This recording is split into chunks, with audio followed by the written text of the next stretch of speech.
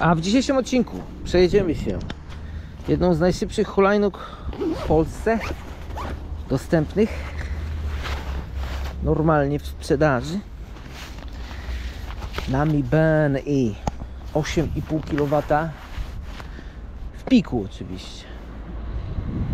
Ale czym ta hulajnoga różni się od innych? A jeździłem wieloma!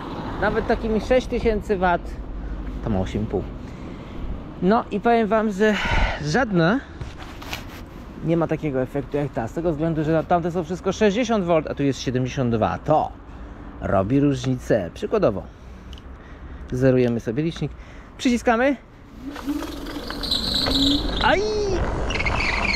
Aj!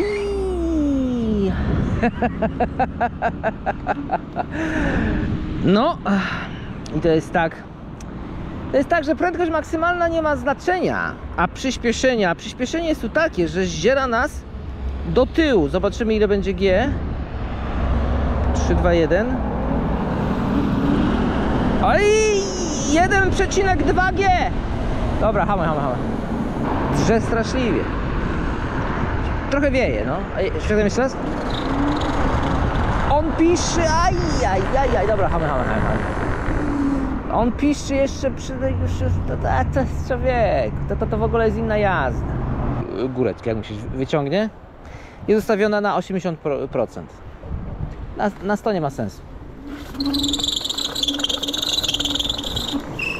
Ale to ciągnie, panie.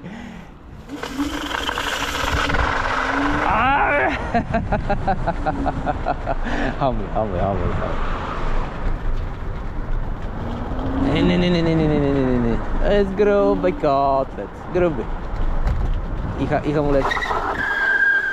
A, dobra, zetrzesz opony. Pamiętajmy, iż testy zostały wykonane w zamkniętych warunkach. Ta droga jest zamknięta, prywatna, do firmy.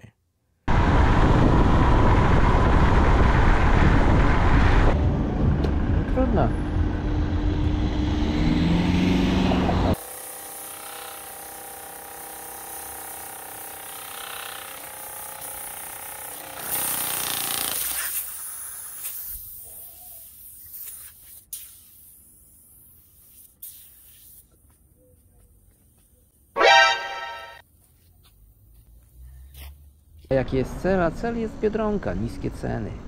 Tak, proszę Państwa, bardzo niskie. Najniższe.